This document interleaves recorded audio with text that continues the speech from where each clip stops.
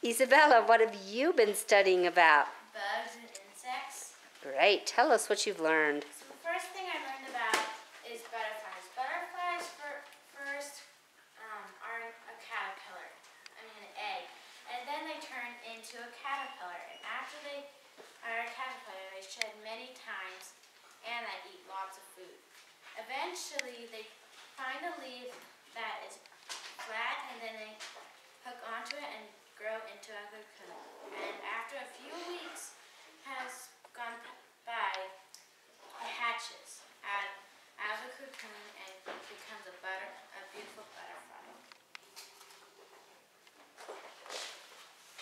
The next thing I learned about is dragonflies. Dragonflies are very aggressive hunters. They are one of the fastest insects with their wings. And they also have very strong wings.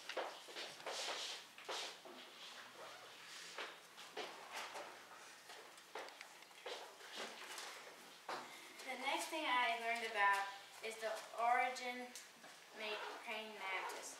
The, ma- the praying ma- the origin praying mantis is colored as pink. It's pink so it can blend in with flowers that are also pink or dark purple.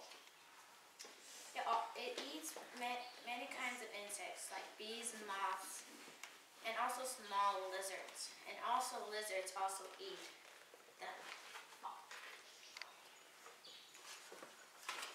And that's all.